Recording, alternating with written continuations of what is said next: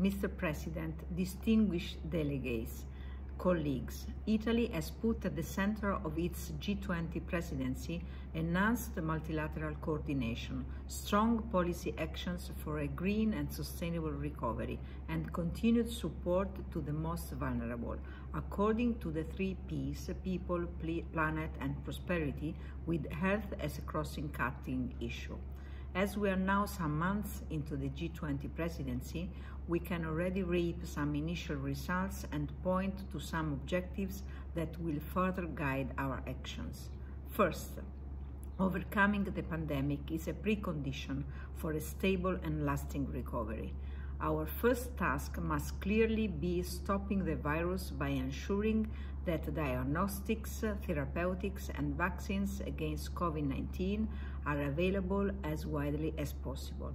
Italy recognizes the role of COVID 19 immunization as a global public good and reiterates its support to the access of to COVID-19 Tools Accelerator and its COVAX facility. Health is a far-reaching priority. The Global Health Summit, co-hosted by Italy and the European Commission on 21st May, will be an opportunity to promote the discussion on pandemic preparedness and to relaunch the spirit of collective efforts that initiated the ACT Accelerator, a virtual example of what the international community can do together when faced with an urgent global threat. The recommendations of the G20 high-level independent panel on financing the global commons for pandemic preparedness and response will contribute to the definition of innovative means of financing for a stronger and more resilient global health architecture. Second, the Italian, the Italian G20 presidency has sought consensus to further step up the support to vulnerable countries as they address the challenges associated with the COVID-19 pandemic. On April the 7th, the G20 finance ministers called on the IMF to make a comprehensive proposal for a new special drawing rights general allocation of US dollars 650 billion and to explore options for members to channel SDRs on a voluntary basis to the benefit of vulnerable countries. A new allocation would enhance global liquidity and help the global recovery. The debt service suspension initiative was extended until end December 2021 to contribute to facilitating higher pandemic-related spending. All official bilateral creditors should implement this initiative fully and in a transparent manner.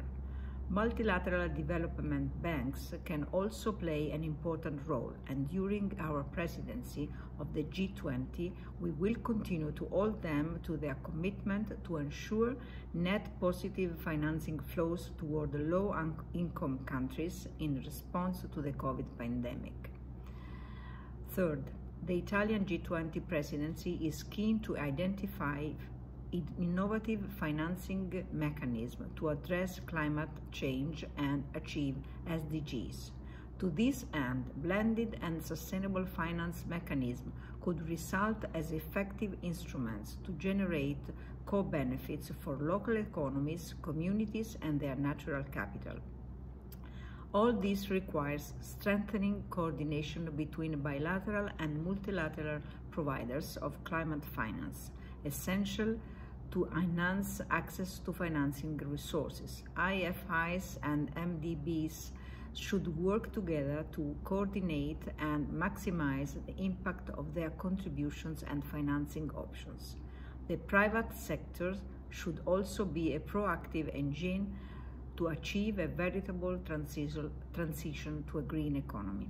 In conclusion, we must avert the trajectory that estimates the many low-income countries are facing the threat of a weak recovery and setback in their development path. We all need to concentrate on laying strong foundations to recover better. Thank you.